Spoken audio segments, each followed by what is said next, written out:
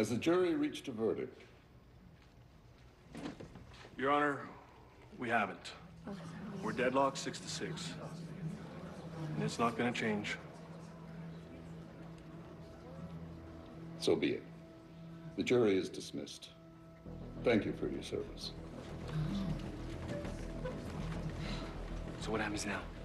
Judge will declare a mistrial. We have to go through this again? Your Honor, in lieu of another trial, the state is prepared to offer a deal for a lesser sentence. Instead of prison, time served plus two years in juvenile detention. If Mr. Andrews will plead guilty to the crime of manslaughter. Your Honor, I'll take the deal. No, we have to discuss this. I can't put you and everyone else through this again. Your Honor, I accept the deal. Son, just so I have it straight, though it's legally within your rights, you're ignoring the advice of your counsel, your own mother. Yes, Your Honor, I'm guilty. Mr. Andrews, the court accepts your plea of guilty.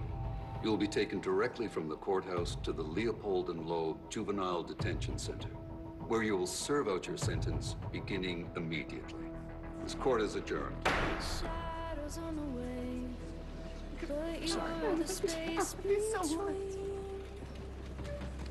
Look, we're gonna get you out of there, bud.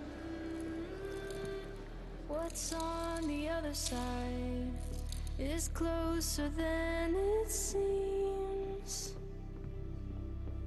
Mm, Smoke up in the sky. You take my key. Love you, Veronica. Can't take him away. He's innocent. He didn't do anything.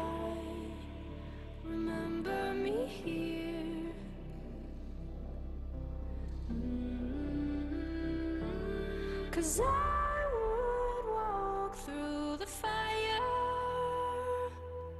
And I would give you every last breath till there's nothing left.